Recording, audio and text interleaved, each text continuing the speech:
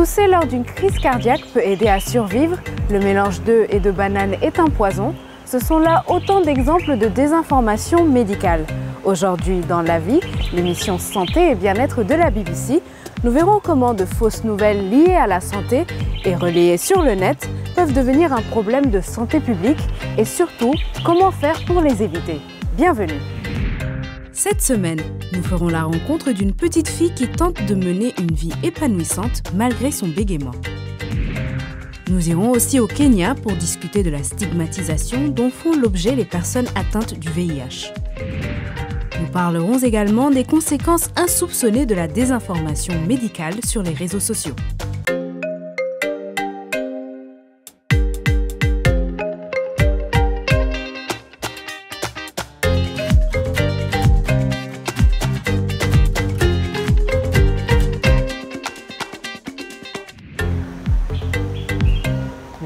Guérit le cancer. Vraiment Je pense que si c'était vrai, cela faciliterait beaucoup la vie des médecins. La désinformation médicale s'est amplifiée sur les médias sociaux et plus que jamais, les promesses et espoirs qu'elle suscite ont accentué la vulnérabilité des internautes. Pour mieux comprendre ce phénomène, Célina Alundigo est allée à la rencontre d'un adepte des réseaux sociaux qui, sans le savoir, a pris l'habitude de partager de fausses informations liées à la santé. C'est un monde virtuel qui offre promesses et espoirs. Que ce soit face à l'incertitude, Voici le secret pour tomber enceinte facilement et rapidement. Ou face au désespoir. Les feuilles de corosol guérissent le cancer.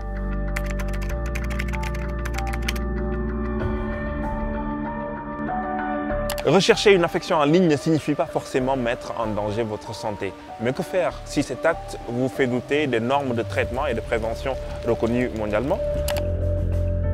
Et si une désinformation médicale à travers un titre incitatif sur un média social vous fait croire qu'il s'agit d'une révélation importante dont le partage sauvera des vies? À l'ère des médias sociaux, de multiples chemins mènent malheureusement aux fausses nouvelles sur la santé. Guy Sepen est un promoteur culturel. Il est aussi actif sur Facebook. Sur ce média social, il a l'habitude de partager des publications suggérant que les feuilles de corosol peuvent guérir le cancer. Est-ce que vous connaissez une personne qui a appliqué ce remède et qui a vu son cancer guéri? Bon, euh, je n'en connais pas personnellement, mais ce qui est clair, c'est que moi, j'utilise beaucoup les feuilles de corosol. Et sur le plan santé, je m'en je suis bien. Il y a des médecins d'ici et d'ailleurs qui ont démenti cette information. Ils disent que le thé au cortisol ne guérit pas et ne prévient pas le cancer. D'où l'importance de prendre des précautions quand on partage ce type d'information. Vous ne pensez pas? Ce n'est pas un problème euh, d'intellectualisme ni rien Ce sont des réalités qui sont là, africaines, que, l'on a vécues. Ce qui a soigné mes, mes, aïeux, qui a soigné mes grands-parents et qui continue de me soigner, que l'on me demande de ne pas y croire, ça va être très problématique. Dans la suite de cette émission, nous en apprendrons davantage sur les effets négatifs de la désinformation médicale sur les réseaux sociaux. En attendant, retrouvons notre reporter Youssouf Dayo au Kenya qui nous parle de la stigmatisation des personnes vivant avec le VIH à Wajir, dans le nord-est du pays. Cinq fois par jour, l'appel à la prière est lancé et les fidèles se rassemblent dans les mosquées de la ville.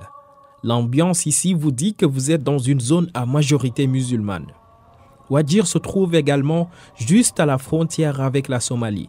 Les habitants sont d'ethnie somalie, donc même langue, même culture. Mais ici, il reste beaucoup d'autres choses encore recouvertes d'un voile, le voile du silence. C'est ce qui m'amène ici. Nous avons entendu parler de gens qui souffrent en silence parce que la nouvelle s'est répandue sont séropositifs. On a dû voyager loin de la ville pour rencontrer une personne qui nous parlerait. C'est comme voyager dans le temps. À environ une heure de route du centre-ville, des signes d'un monde à l'abandon. Sadia vit ici avec ses trois enfants. L'aîné a 11 ans et on nous dit qu'il est à l'école. Sadia ne peut même pas se tenir debout sur ses pieds. Elle est séropositive. Elle a été frappée par la pauvreté et laissée seule pour subvenir aux besoins de ses enfants. Ou plutôt, pour que ses enfants subviennent à ses besoins. Je n'ai pas vu ni entendu parler de mon mari depuis 2013. C'est à ce moment-là que j'ai emmené ma fille à l'hôpital. Elle était malade. Quand les médecins l'ont testée, ils ont découvert qu'elle était séropositive. Ils m'ont testé moi aussi et m'ont dit que j'étais positive au VIH. Sadia a été dévastée d'apprendre la nouvelle, mais rien ne l'a préparée à ce qui allait arriver. Dès que la nouvelle s'est répandue, elle est devenue un paria. J'ai été forcée de déménager de là où j'habitais. Même là, j'ai été maltraitée par mes voisins qui poussaient leurs enfants à se moquer de moi. Ils m'aliénaient à tel point que je ne pouvais rien leur emprunter. Personne ne se souciait de savoir si j'étais en vie ou si j'étais morte. Ils ne voulaient pas partager l'eau du puits avec moi. Même cette maison ne m'appartient pas.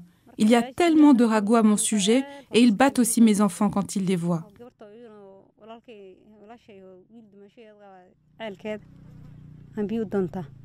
Elle passe la plupart de son temps seule dans sa hutte et ne reçoit presque pas de visites. Mais Sadia dit qu'elle peut tout prendre sur elle. Ce sont plutôt ses enfants qui l'inquiètent. Mes enfants vont à l'école primaire locale. Le plus jeune est à l'école maternelle. Mais ils ont été expulsés de l'école coranique par les gens d'ici. Même les enfants du quartier les insultent tous les jours sur la base de ce qu'ils entendent de leurs parents et de la communauté. Mais au moins, ils ont encore le droit d'aller à l'école. Jamal est également séropositif. Il vit aussi dans la ville de Wajir et il a reçu sa part de discrimination en raison de son statut. J'ai été expulsé du premier endroit où j'ai vécu quand je me suis marié. Ils m'ont aussi renvoyé du deuxième. À peine deux ou trois mois après un déménagement, des gens qui me connaissent déjà ou qui découvrent mon statut en parlent dans ma nouvelle maison. Et quand ça arrive au propriétaire, il me met à la porte. Tout ça à cause de mon statut. Et je ne demande rien à personne. Pas un abri, pas de la nourriture, rien. Ils ne veulent tout simplement pas entendre ce nom, VIH. Je peux payer mon propre loyer, mais ils ne veulent même pas de mon argent. Jamal dit qu'il a été forcé de se forger une carapace. Il a perdu des amis et de la famille dès qu'ils ont appris son statut. Les dernières statistiques montrent que la prévalence du VIH au Kenya n'a jamais été aussi faible, avec environ 52 000 nouvelles infections à tous les âges. Cela se traduit par près de 44 000 nouvelles infections chez les jeunes adultes âgés de 15 à 49 ans. Le nombre d'infections chez les enfants de moins de 14 ans était inférieur à 8 000 l'an dernier. Entre-temps, Bien que Wadir soit l'un des plus grands comtés du pays, il enregistre toujours le taux d'infection le plus bas, soit 0,2%. Cependant, on craint une tendance à la hausse des infections à Wadir et les experts pensent qu'avec la stigmatisation ambiante, moins de personnes seraient prêtes à se présenter pour un test de dépistage. Il y a beaucoup de personnes qui n'ont pas fait le test. Et par exemple, ce mois-ci, nous avons enregistré huit nouvelles infections, ce qui montre que le VIH est présent dans la communauté, mais que la stigmatisation les empêche de venir se faire tester. L'adultère est interdit dans le Saint-Coran. Ainsi, dans la communauté islamique chez les musulmans, ils craignent de venir se faire dépister parce qu'ils pensent que s'ils viennent se faire dépister et que leurs proches les voient, ils les associeront à l'adultère. Et c'est comme ça que se développe la stigmatisation parce qu'ils seront mis au banc de la communauté.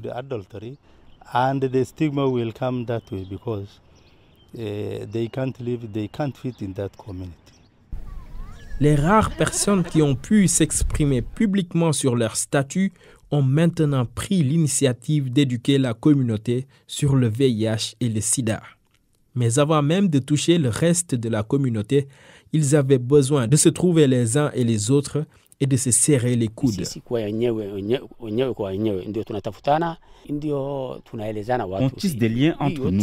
Nous rédigeons des demandes aux partenaires pour nous aider à organiser des réunions afin de trouver la voie à suivre. Nous nous disons que nous sommes tous une seule et même famille. Nous ne devons pas désespérer. Dans ce monde, nous pouvons vivre longtemps avec le VIH. Nombreux sont ceux qui nous ont stigmatisés, mais ils sont morts et nous sommes toujours là. Prenons donc nos médicaments selon les conseils des médecins.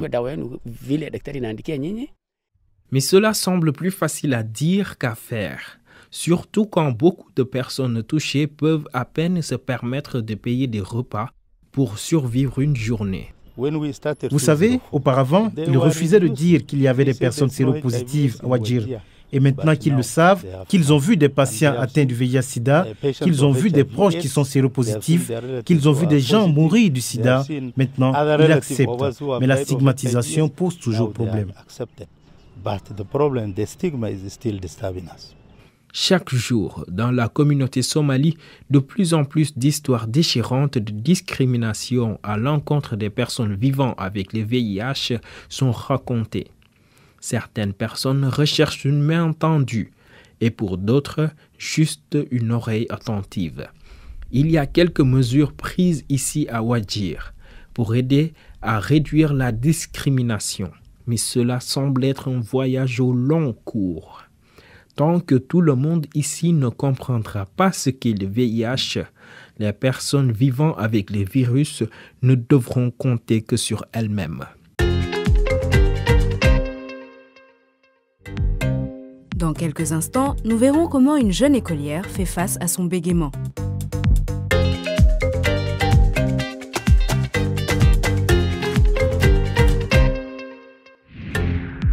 Vous suivez toujours l'émission Santé et bien-être de la BBC, La Vie.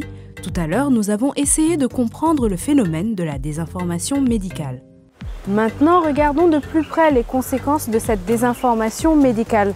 Seydina Alunjigo est tout d'abord allée discuter avec un spécialiste de la communication qui explique comment ce type de contenu arrive à se propager aussi facilement. Puis une gynécologue revient sur le cas d'une patiente qui a mis sa vie en danger en appliquant de prétendus remèdes trouvés sur les réseaux sociaux. Giuseppe croit dur comme fer que les publications qu'il partage sur les pouvoirs de guérison du cancer par les feuilles de corosol sont véridiques. Son profil est assez commun. Il se traduit par le partage de fausses nouvelles sans volonté de tromper. On appelle cela de la mésinformation à différencier de la désinformation. La fausse information diffusée délibérément et souvent de façon clandestine afin d'influencer l'opinion publique. Entendons-nous bien, un fake news c'est un mensonge et un mensonge reste un mensonge. Qu'on le fasse express, exprès pardon, ou qu'on soit amené à le faire de manière euh, pas très euh, réfléchie, je pense que vous avez tous la même responsabilité parce que vous contribuez à diffuser ou à divulguer une information qui n'a pas reçu une caution scientifique. Une étude du Massachusetts Institute of Technology a révélé que nous sommes 70% plus susceptibles de partager des mensonges que des faits sur les médias sociaux. L'information que euh, l'industrie pharmaceutique ne veut pas que vous sachiez, des trucs comme ça, parfois on le voit. Euh, la vérité qui n'est pas bonne à dire ou les médecins ne vous le diront pas, bon, je vous le dirai moi-même. Donc ça, ça arrive d'avoir ce genre de, de, titre qui est dans une démarche de comparaison entre leur, leur activité, qui est une activité pas reconnue du tout en général, et une activité reconnue qui n'a pas intérêt à ce que cette activité pas reconnue prospère. Les fausses nouvelles en matière de santé peuvent être lourdes de conséquences non seulement pour la perception des utilisateurs trompés, mais aussi pour leur santé. Docteur Mambrose Sall est gynécologue. Quelques de ces patientes ont mis en danger leur santé en appliquant des soi-disant remèdes trouvés sur Internet. Comme toutes les informations au niveau des réseaux sociaux, il y a certaines informations qui sont véridiques, mais d'autres qui ne le sont pas. Maintenant, les patients n'arrivent pas à faire la part des choses, d'accord? Elles prennent toutes les informations et des fois, c'est à leur détriment. Il y a eu des cas, d'accord? Par exemple, il y a eu une patiente, dans le but euh, d'éviter les infections génitales à répétition, elle a eu à insérer en, en, intravaginal une gousse d'ail, d'accord, mais qu'elle n'a pas pu retirer aussi par la suite. Et tout cela a entraîné une petite inflammation locale, d'accord. Donc elle nous est aussi venue.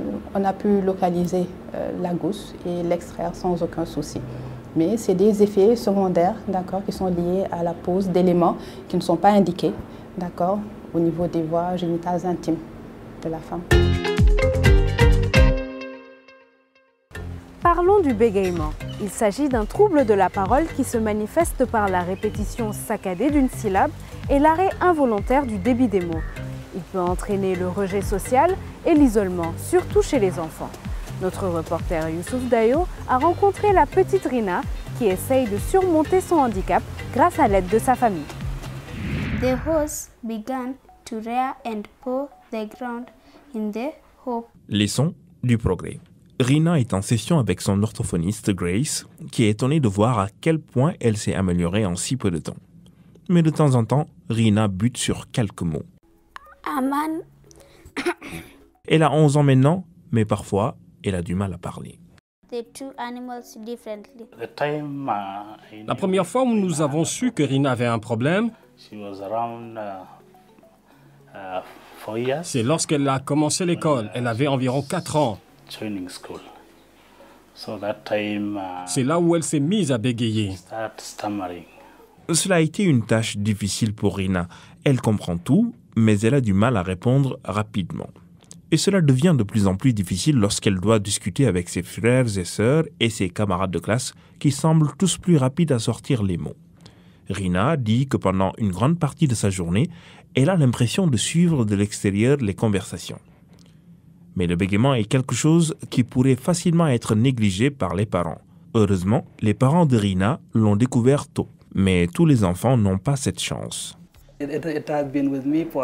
Je vis avec ça depuis longtemps. J'ai été informé par mes parents que cela a commencé quand j'étais très jeune. Et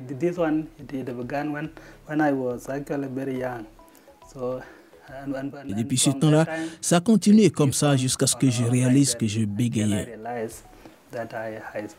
Daniel a passé la majeure partie de sa vie dans l'ombre. Il avait très peu d'estime de soi, ce qui l'a poussé à se retirer de la société par peur et par honte de bégayer. C'était très difficile. À l'école, en ce qui concerne la lecture, quand j'étais désigné pour lire à haute voix, ça m'a donné du fil à retordre.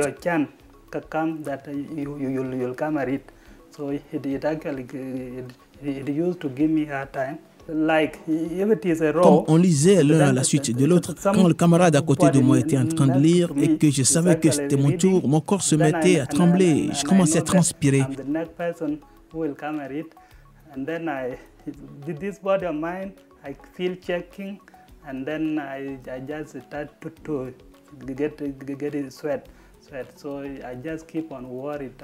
J'avais peur, je me disais, comment vais-je lire?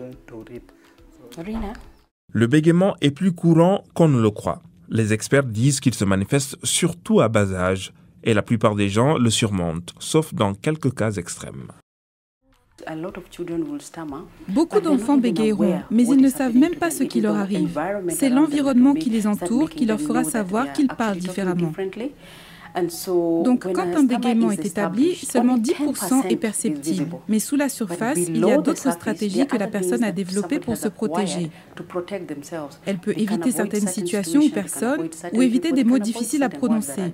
Par conséquent, elle développe d'autres symptômes ou comportements comme la peur de parler aux gens, ou bien elle peut devenir agressive parce qu'elle veut dire quelque chose, mais les gens ne lui permettent pas de parler.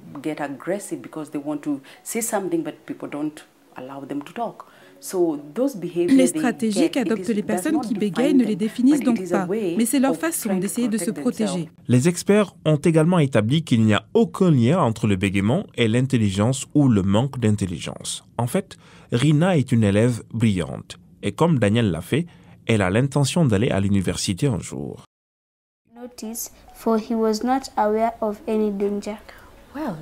Bien joué, c'était une bonne lecture. Rina, j'aimerais te présenter à un bon ami à moi.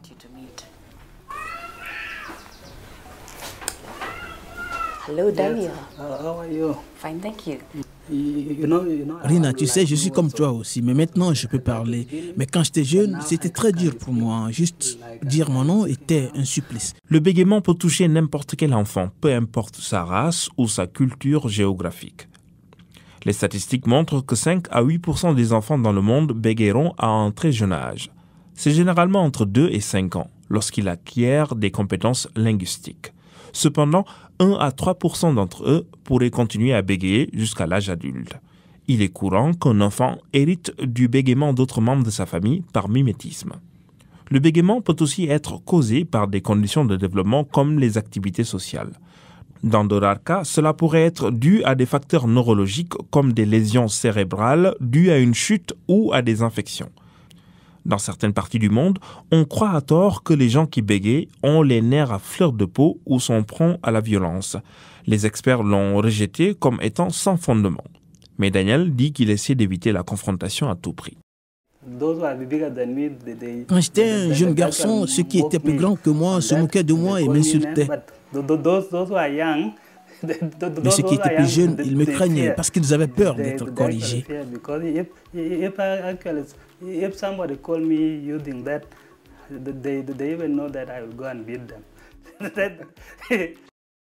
Beaucoup de personnes qui bégayent trouvent des moyens de contourner les mots qu'elles ont du mal à prononcer. Mais ce n'est qu'une solution temporaire. Si elles n'obtiennent pas d'aide à temps, elles risquent de subir des dommages à long terme. J'ai rencontré une dame qui avait un diplôme en administration et qui travaillait dans un salon de coiffure.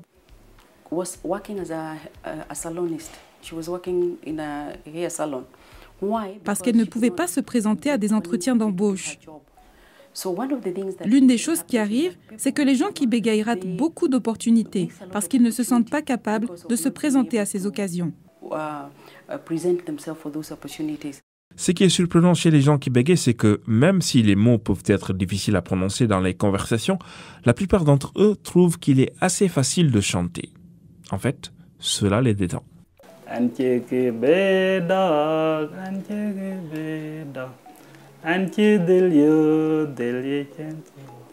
So now you have, you have seen you have seen how, how I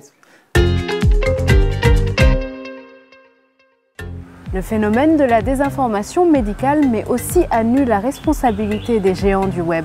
Une responsable de Facebook a accepté de répondre aux questions de Seydina Djigo, mais avant cela, partons à la rencontre d'un acteur non négligeable dans la lutte contre les fausses nouvelles, le fact-checker.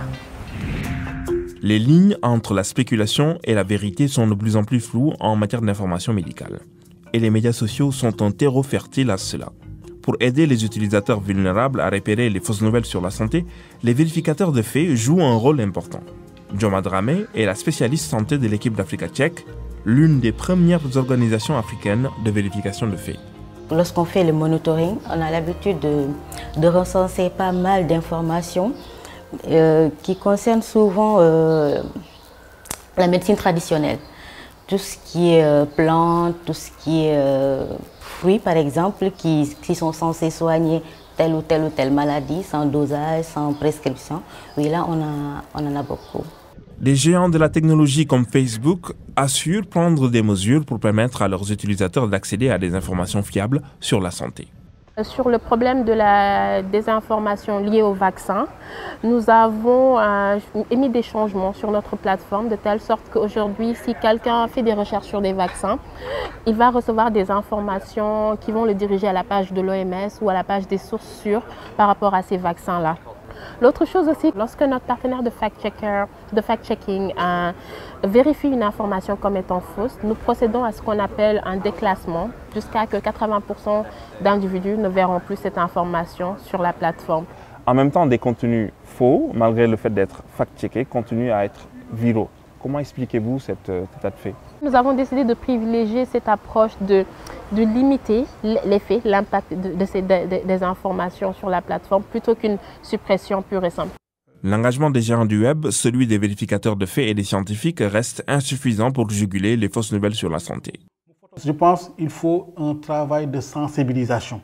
Un travail de sensibilisation, intégrer des petits modules d'identification de fausses informations dans les niveaux inférieurs de, l'éducation, euh, au collège ou pourquoi pas euh, à l'école primaire, essayer de voir, de dire aux étudiants, aux élèves comment vous devez reconnaître une fausse information. Il y a un équilibre à trouver entre l'ouverture d'esprit et la prudence en matière d'information sur la santé. Rechercher des sources fiables.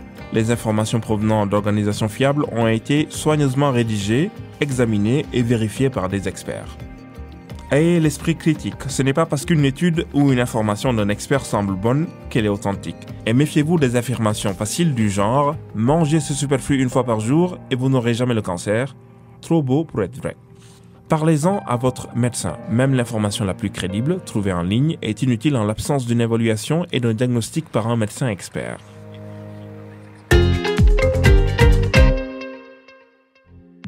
C'est tout pour aujourd'hui. Merci de nous avoir suivis et rendez-vous la semaine prochaine pour un nouvel épisode de La Vie, l'émission Santé et Bien-être de la BBC. Prenez soin de vous.